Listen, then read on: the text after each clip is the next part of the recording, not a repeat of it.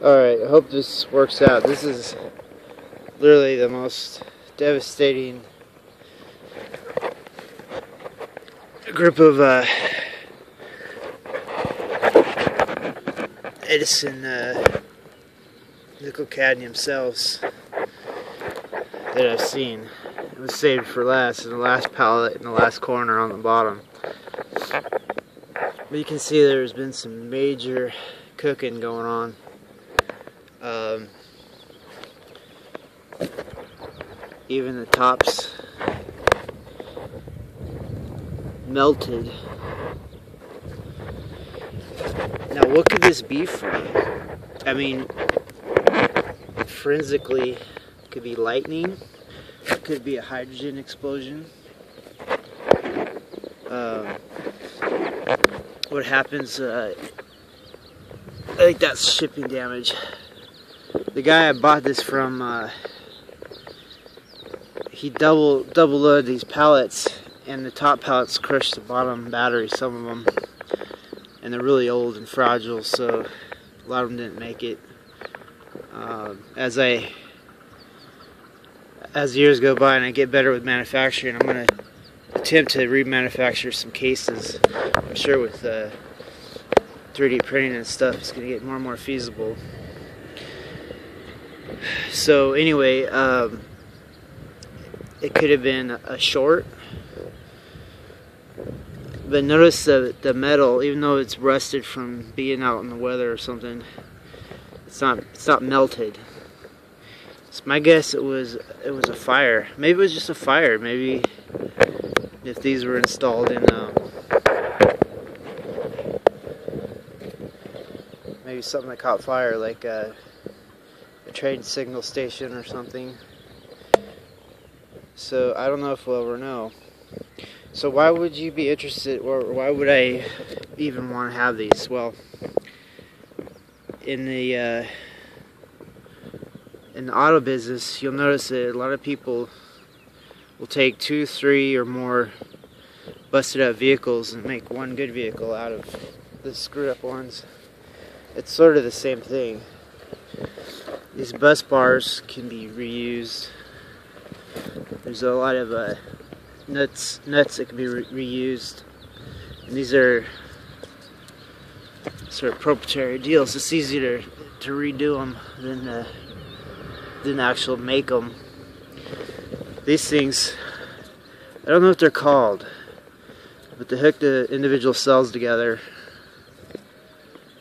and it seems to be really secure because when I see that I don't even bother trying to disconnecting them because it's such a bugbear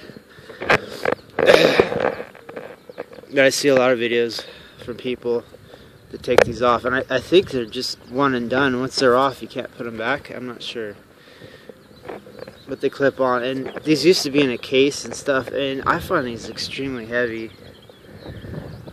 uh, apparently I've gotten weaker, weakened, weakened in the last decade since I've been back from Iraq.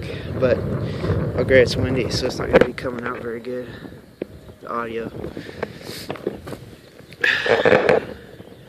Made in USA. So some of the lore of these is um, the factory got shut down because of cadmium. Uh, Plus, they're pretty expensive batteries. Um, so they're not made in the U.S. anymore. They're made overseas still. Of course, I don't know with the the situation in the world now. Who knows, who knows what's making who or who's making what. Um, so another another bit of advice is uh, see how those are. You know this reminds me of? It reminds me of those ancient runes where they're trying to figure out how they were trussed together. See how they they interlock here? You know some of those stone blocks and things from the ancient ruins. Kind of reminds me how they're how they were interlocked, how they just locked together. See how that works? Pretty interesting technology, if you ask me. But it survived the explosion. So, um, yeah, I thought it'd be interested. It's interesting to just go over a major problem here. Now, what exactly is is is? Uh, here's some of the innards. See, that's the plastics something that's fit fitting over these, protecting them. They've been exposed and stuff to the air and things that. Um, some people have had success restoring these, even if they were dry. So I've yet to do it. I'm going to be doing a lot of reading. A lot of these people think they can just fall out of a chicken and hatch an egg type plan just that quick. Uh, it's not like that. You got to do a lot of research and, and a lot of pain, suffering, and expense, and poss possibly die. You know, get cancer or something from being exposed to um, crazy ass chemicals. So, um, if you want to get into batteries, I would, if I could tell myself, go back in time and tell myself, would I even mess with these old batteries and try to fix them up? I would say no. Don't do it. Just get yourself a good, reliable set of uh, uh, lithium ion batteries. Um, that's ion, not iron.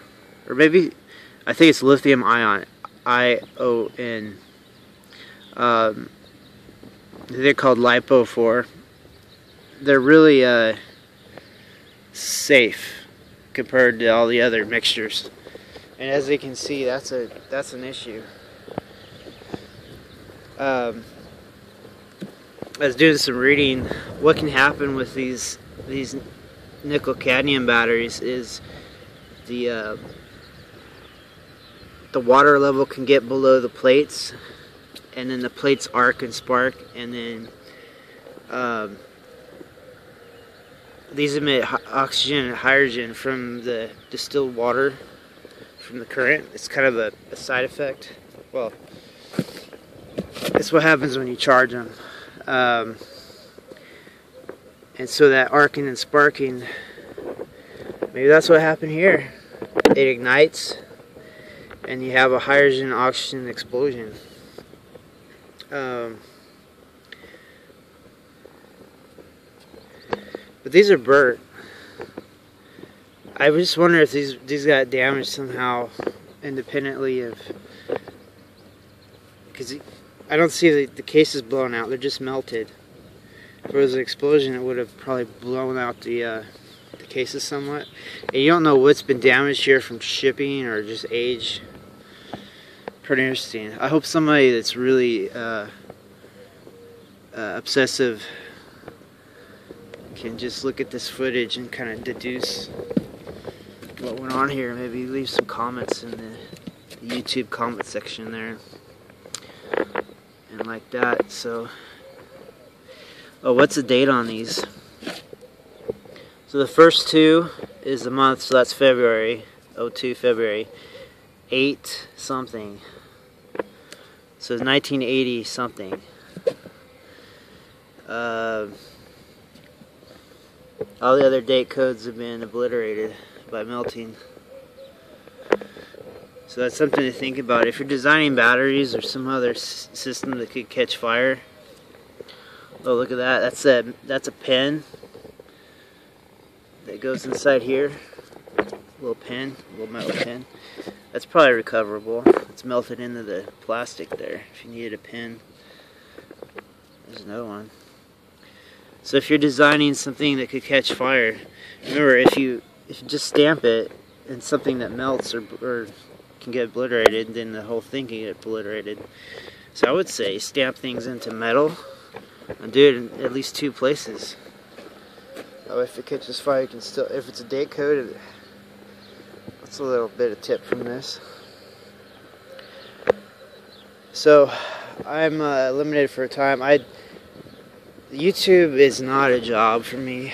It doesn't pay good enough. It started to so I don't even hardly try anymore.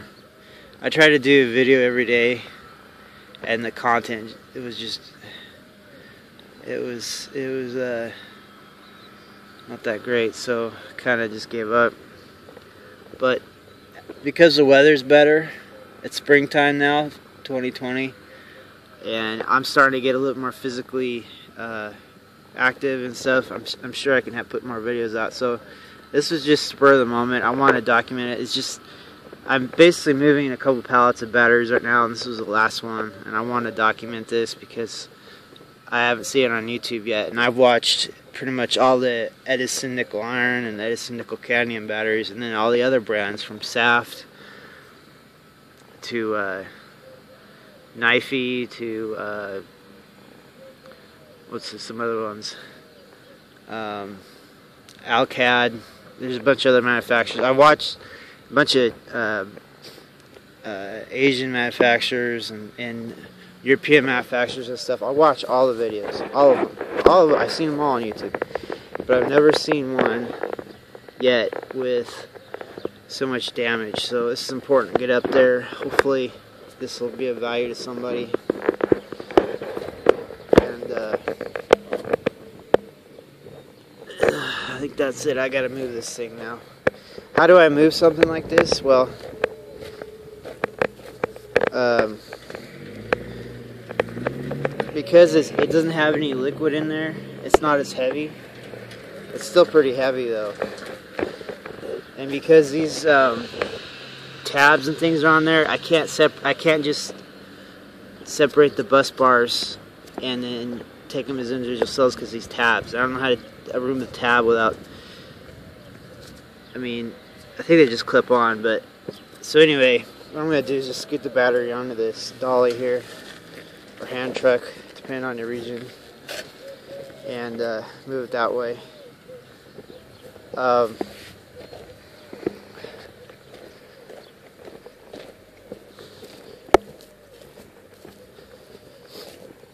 here's some more uh, here. Like I said, damage from shipping, plus it might have been damaged to begin with. look at the rust. Anything that oxidizes and stuff, it has because of the just the age. Some of the dates on here 05, 1978. What else is interesting? Uh, look, there's different caps, right? There's this design, there's this design. I've seen a metal cap before, here's one. And I've seen another design, it, it looks like a big, big black cap. I think it's that made out of that, that rock that breathes. Pumice, maybe. interesting stuff. So, um, you know, while I'm at it, let me just make this video even better. Um, no, I'm not. I'm not. I would just keep this video the way it is. And then, uh, we'll call it good. Because I've noticed a lot of people just click off. They, their attention spans, are, they don't have time. They, they don't want to mess around with stuff.